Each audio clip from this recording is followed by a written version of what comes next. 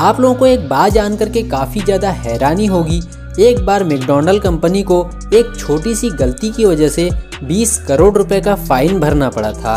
अब आप लोग सोच रहे होंगे, इतनी बड़ी कंपनी से ऐसी क्या गलती हो गई जिस वजह से इन्हें जो है इतनी बड़ी रकम में फ़ाइन भरना पड़ा था। तो चलिए आप लोगों को डिटेल्स में बताते हैं। एक बार एक लेडी ने मैकडोनल्ड कंपनी से एक कॉफ़ी ऑर्डर किया और जो कॉफ़ी का कप है, वो ज़्यादा ही थिंक था। जिस वजह से उस लेडी को पता नहीं चल पाया कि कप में मौजूद कॉफ़ी कितनी गर्म है। और जैसे ही उस लेडी ने कॉफ़ी के कप को खोला गलती से कॉफ़ी जो है उस लेडी के हाथ में गिर गया और उस लेडी का हाथ बुरी तरीके से जल गया।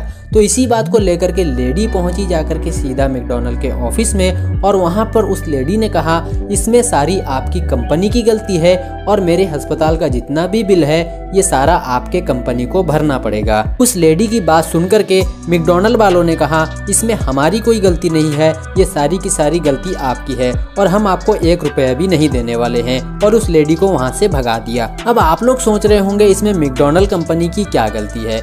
देखिए, अगर किसी गर्म चीज़ को पैक किया जाता है तो उसके पैकेट के ऊपर क्वेश्चन हॉट लिखा होना चाहिए, जबकि उस कॉफ़ी के कप में ऐसा कुछ भी नहीं लिखा था। तो इसके बाद लेडी जाकर के पहुँची सीधा कोर्ट में, और वहाँ पे उस लेडी ने सारी बातें बताई। तो इसके बाद कोर्ट में भी ये बात साबित हो गया कि यहाँ पे जो है मैकडोनल्ड कंपनी की गलती है, क्योंकि उन्हें अपने कॉफ़ी की कप में क्वेश्चन हॉट लिखना चाहिए, जबकि उनकी कॉफ़ी जो है, बाकी कंपनी के कॉफ़ी के मुकाबले तीन से चार डिग्री ज़्यादा गर्म होती है, और उन्होंने अपने किसी भी कॉफ़ी के कप में क्वेश्चन हॉट नहीं लिखा था। कोर्ट में साबित होने के बाद मैकडोनल्ड कंपनी को जो है, इसी छोटी सी गलती की वजह से 20 करोड़ रुपए का फाइन देना पड़ा उस लेडी को। ये जानकारी आप लोगों को कैसी लगी हमें कमेंट करके ज़रूर बताइए। इसी तरीके और वीडियोस देखना चाहते हैं तो चैनल को सब्सक्राइब कर लीजिए।